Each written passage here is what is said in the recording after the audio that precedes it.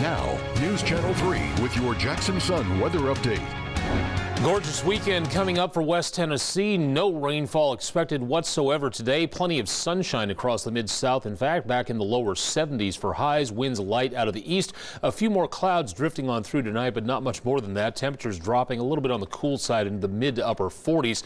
And then over the course of the next several days, beginning late Sunday night into early Monday morning and throughout the rest of next week, more chances of showers and thunderstorms each and every single day. More updates on your forecast coming up on News Channel 3.